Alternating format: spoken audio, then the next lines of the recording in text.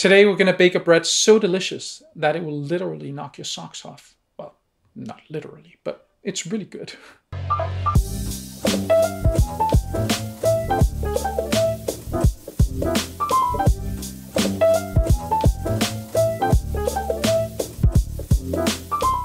Hi, I'm Sune and I'm a food geek. Today we're going to bake a chocolate sourdough bread with uh, raisins and toasted hazelnuts. As you may or may not know, I uh, have a little business making bean to bar chocolate, which means I make chocolate directly from the cocoa beans. So I'm, of course, going to be using my own chocolate for this bread. If you're interested uh, in looking at the variety of chocolates I have, you can uh, follow the link in the description. So, what's not to love about a bread with chocolate, raisins, and hazelnuts? Let's get started. The written recipe, the ingredients, and the amounts are linked in the description. We'll start in the morning. Uh, we'll mix everything for the levain. Uh, add 50 grams of sourdough starter, 50 grams of bread flour, and 50 grams of spelt flour, and 100 grams of water. Mix thoroughly so that everything is completely combined. Put an elastic band around the container so that you can monitor the growth. Then we'll do the autolyse. In a bowl, combine 658 grams of bread flour, 72 grams of Dutch processed cocoa powder, 146 grams of spelt flour.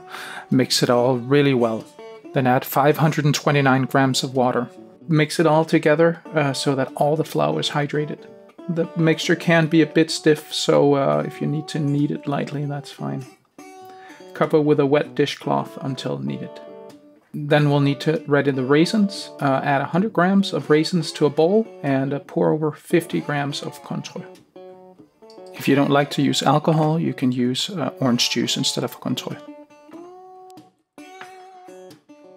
Once the levain has doubled, it's time to mix the dough. On top of the autolysed uh, flour, add 18 grams of salt, 27 grams of honey, 72 grams of brown sugar, and uh, 50 grams of water.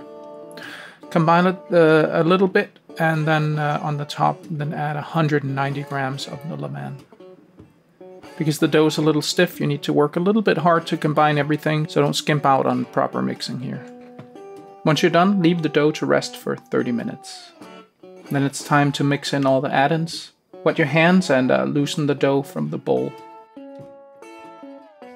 Drizzle about half of the hazelnuts over top of the dough and uh, do a couple of stretch and folds to incorporate. And then pour the rest of the hazelnuts over top and stretch and fold a couple times more. Then do the same thing with the raisins, add them over top of the dough and stretch and fold a couple of times. Make sure to uh, discard uh, whatever Cointreau uh, hasn't been soaked up by the raisins.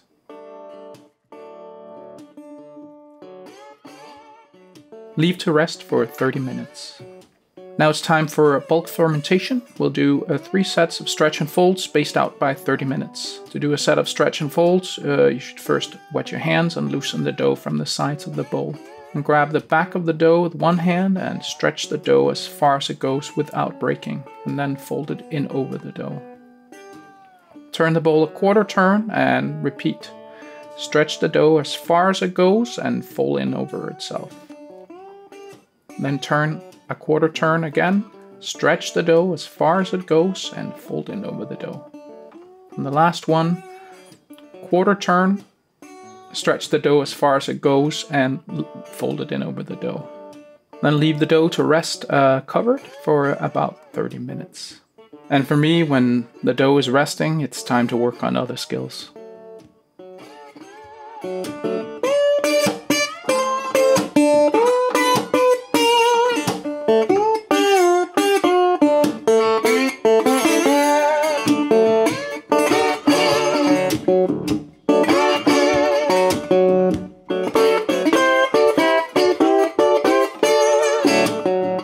After the 30 minutes are up, um, do the second stretch and fold. You'll do exactly the same as before. Leave to rest for another 30 minutes.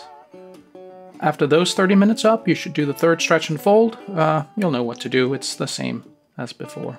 Once the third stretch and fold is over, you can do a window pane test to check the gluten development, but it is a little bit difficult because of all the add-ins. It's hard to pull a window pane. Because of the long autolyse, you should be okay.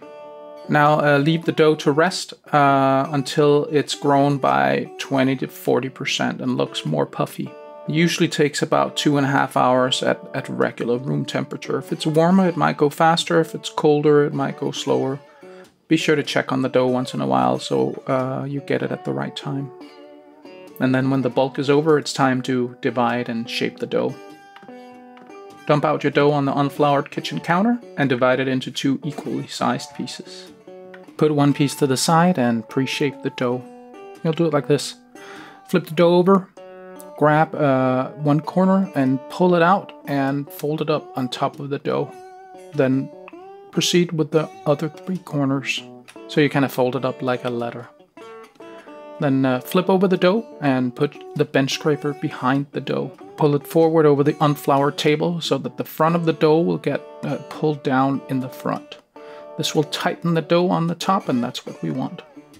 Once you can't get any further, you put the dough scraper in front of the dough and push it uh, away from yourself and twist it around so that you get behind the dough again. Then keep going until you have a very taut surface.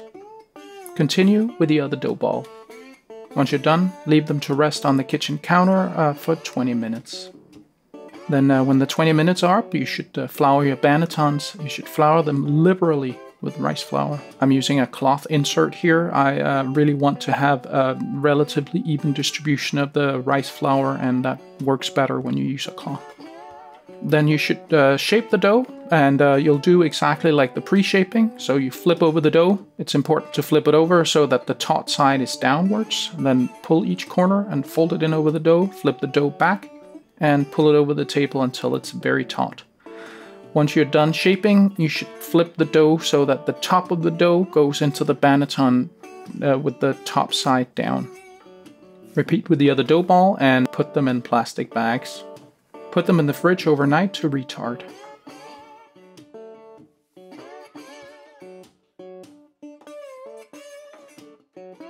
The next morning, when it's time to bake, uh, add a baking steel or pizza stone to your oven, and on top you should place your combo cooker or uh, Dutch oven and heat the oven to 260 degrees Celsius, that's 500 degrees Fahrenheit. It's important to uh, preheat for a while so that everything is super saturated with the heat. It'll really help your oven spring. Once you're ready to bake, grab your dough from the fridge and uh, flip it onto a peel with parchment paper. Because of the look I'm going for here, I will add a little extra rice flour so that it's completely white on the outside. Uh, that means that, that when the scores open up, they'll be brown in there and that gives it a really nice look, I think. I do a cross score on my bread, but you can do whatever you like. Once you've finished scoring, add the dough to the Dutch oven and put the lid over top. Close the oven and bake for 20 minutes. Once the 20 minutes are up, you should lower the heat to 230 degrees, 450 degrees Fahrenheit, and uh, remove the top. Bake for an additional 25 to 30 minutes. It's a little difficult to judge this bread because it's so brown, but uh, don't be afraid if it gets a little dark in the corners. That'll just add extra taste. When the bread is done, take it out and put it on a wire rack to cool. Continue with the other bread using the exact same method. Once that bread is done, put it on the wire rack and let it cool completely before you cut into it.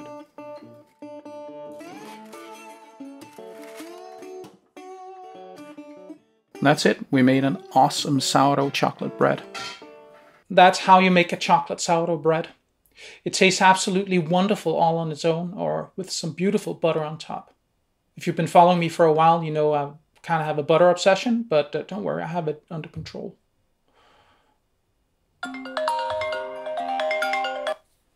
Hello? Oh yeah, thanks for calling back. Uh, you know, I kind of need a pound. Uh, can you get that for me? All right, see you. Thanks. Bye. Well, let's look at this bread. I've been looking forward to this part.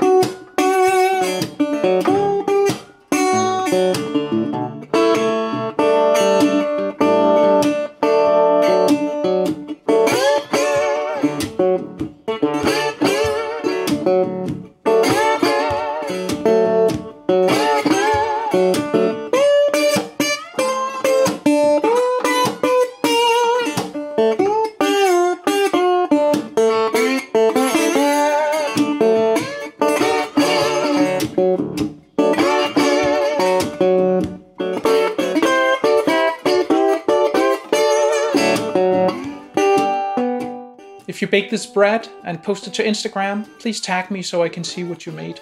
You can find a link to my Instagram in the description. If you have any problems with your sourdough bread or your starter, just post all your questions in the comments below and I will do my best to help you. If you like this video, hit the like button, don't forget to subscribe and ring the bell so you won't miss any future videos. See you next week.